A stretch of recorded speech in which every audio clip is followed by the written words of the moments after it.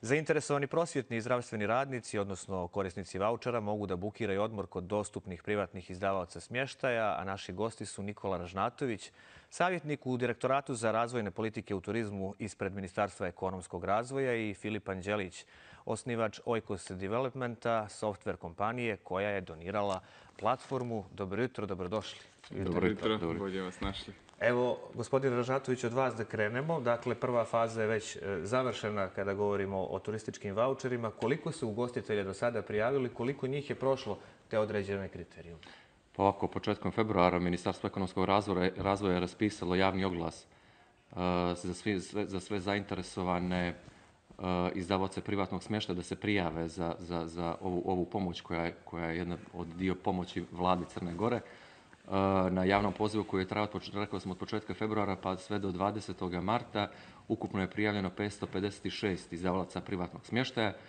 Po kriterijima koji su bili definisani javnim pozivom do kolege koje su radile sistematizaciju tih prijava, izabrano je 429 izdavalaca privatnog smještaja u kojima će svi zdravstveni i prosvetni radnici moći da iskoriste svoje vouchere, znači koje su dobile putem, putem SMS poruke. Uh Filipe, da li imate podatak koliko je ljudi do sada iskoristilo voucher ili koliko se njih za sada prijavilo? Govorimo o zdravstvenim radnicima i prosvjetnim radnicima. Da, tako je i socijalnim radnicima, pošto su i oni skoro uključeni u ovaj paket mjera.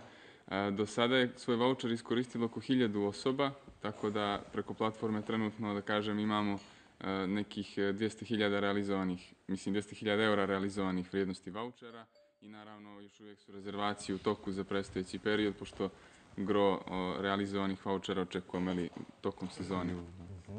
Ono što je važno pomenuti je da će apsolutno svi e, i prosvjeti, i zdravstveni radnici, i socijalni radnici imati mogućnost da koriste voucher ukoliko se desi da ne dobiju SMS e, poruku ili budu greškom izostavljeni sa spiska, što u tom slučaju pretpostavljamo da ćete ih E, kontaktirati? Apsolutno, mi ćemo ih kontaktirati, samo je bitno, znači ako neko u slučaju do sada još uvijek nije dobio SMS poruku na svoj broj telefona, e, ja molim znači sve one koji to do sada, na primjer, još uvijek nisu dobili, jeste da, ili neko ko ima problem slučajno sa, sa samim, samim ulaskom na samu platformu, može da se javi na e, mail koji je u Ministarstvu ekonomskog razvoja, to su prijeve at mac.gov.me.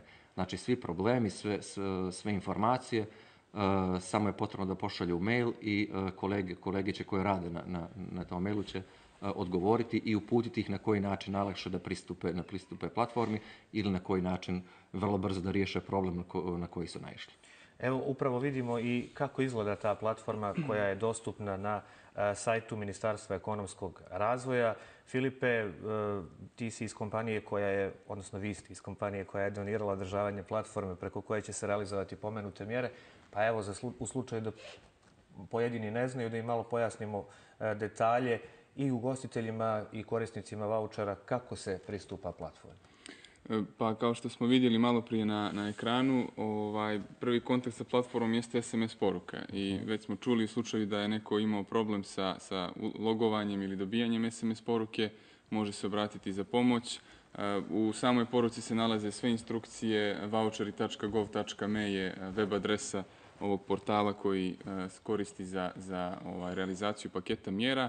E, korisnici koji su gostitelji moraju koristiti svoj PIB ili matični broj s kojim su se prijavili u kombinaciji sa telefonskim brojem na koji su dobili lozinku. Login je vrlo jednostavan, trudili smo se da to bude zaista minimalistički kako bismo ubrzali i olakšali cijeli ovaj proces.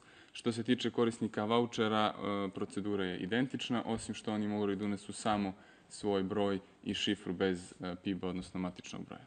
Evo i dok razgovaramo, gledamo e, kako izgleda ta platforma. E, pomenuli smo, Nikola, da je u opticaju oko 25.000, ali tako, tako, jednokratnih turističkih vouchera namijenjenih pomenutim radnicima, prosvjetnim, zdravstvenim i socijalnim u vrijednosti do 200 eura. U slučaju da je taj iznos veći ili niži, što se onda događa? U slučaju da je, znači da vrijednost voucher, to jest da, da mhm. cijena smještaja ovaj, pređe tih 200 eura, sami prosvetni, odnosno zdravstveni radnik, odnosno socijalni, će sam snositi te, te troškove koje su veće, veće iznad 200 eura. Što se radi ako u slučaju da je niži ništa, znači ispod toga, ispod toga ne može ići. To jest, ostvarit će se ona vrijednost koja je, koja je, koja je dogovorena cijenom na samoj platformi. A ukoliko recimo rezervišem, da evo da sam zdravstveni ili prosvjetni ili socijalni radnik, rezervišem voucher kod određenog ugostitelja, a želim da promijenim, šta u tom slučaju, kako se, kako se tu postupa? Pa iz, Ako već iz- bukiram recimo. Tako je, tako je. Iz aspekta korisnika vouchera, e, vaša rezervacija je vrlo vjerojatno konačna i ne možete je promijeniti. Jedino u dogovoru sa ugostiteljem kod kojeg ste napravili rezervaciju, putem telefonskog broja možete se čuti i zamoliti ga da vam e, poništi tu rezervaciju. Jedino u tom slučaju koliko on pristaje da poništi vašu rezervaciju, vi imate mogućnost da svoj voucher iskoristite kod drugog ugostitelja. Šta je još važno pomenuti kada govorimo o turističkim voucherima? Što ugostitelji kažu o platformi? Jesu li zadovoljni? E, je li vam bilo zahtjevno, Filipe, da, da napravite platformu, ali ste zaista e, olakšali onaj dug put odlaska, prikupljanje dokumenata, odlaska do, recimo, evo, Ministarstva ekonomskog razvoja. Ovako, sve jednim klikom se završava. Tako je. E, Cilj e, Cortexa, to jest IT klastera koji je formiran i čiji Oikos Development jedan osnivač, zapravo jeste da e, damo još veći zamajac digitalizaciji crnogorskog društva i naša želja je bila da kroz ovaj primjer pokažemo koliko je i bezbjednije i brže i lakše realizovati bilo šta, u ovom slučaju paket mjera koji je vredan preko 5 miliona u saradnji s državom i mislim da je ovo jedan pionirski primjer gdje je saradnja državnih institucija i privrede e, urodila plodom. Kao što ste rekli, e, olakšali smo i samim radnicima u ministarstvu. U čitavoj ovoj pandemiji mislim da je to isto bitno pomenuti. Izbjegli smo fizički kontakt koji bi bio sa 25.000 ljudi, što nije mali broj. Tako da je ovo digitalno rješenje e, po mom mišljenju bilo pravovremeno i s obzirom na vrijeme koje smo imali da ga realizujemo, mislim da je i dosta kvalitetno urađeno. Kako je povratna informacija i od korisnika vouchera i od ugostitelja za sada? Jesu li Za zadovoljni? sada, za sada je sve ok, teče sve s nekom planiranom dinamikom, tako da ja se nadam da će to biti ovaj, tako biti tokom cijelog trajanja ovaj, realizacije vouchera. Ono što bih ja isto tak, također napomenuo a, jeste da svi zainteresovani ra- zdravstveni, socijalni i prosvetni radnici svoje vouchere mogu da iskoriste do kraja tekuće godine, dakle do 31. decembra 2021. godine. Evo, podsjetit ćemo da su turistički voucheri predviđeni vladinim paketom mjera podrške iz prvog kvartala 2021. Subvencije za turističke vodiče, javni poziv, Nikola, završen Jeste, javni poziv je završen 1. juna, uh, on je trajao nekih 20-25 dana. Uh, stiglo je ukupno 130 prijava za turističke vodiče. Ovaj, sada trenutno radimo na klasifikaciji znači, svih tih uh, te tražene papirologije ko- ko- koja je, koja je bila potrebna i ja očekujem da će svi, uh, svi turistički vodiči svoj pomoć koja im je vlada odredila, to je od 300, 300 eura, ovaj, dobiti do kraja ovoga mjeseca. To još nismo digitalizovali. To još uvijek nismo digitalizovali, to će ići po nekom starom principu, ali ok, mnogo je manji broj, mnogo je manji broj nego, nego kod turističkih vouchera. Filipe, da li bi nešto dodao?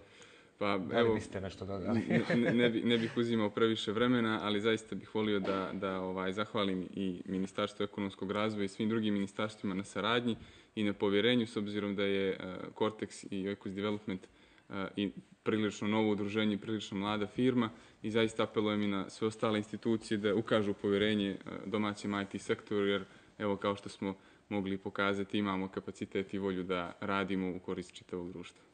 Hvala vam puno na Hvala vam. izdvojenom vremenu za naš program. Hvala i vama.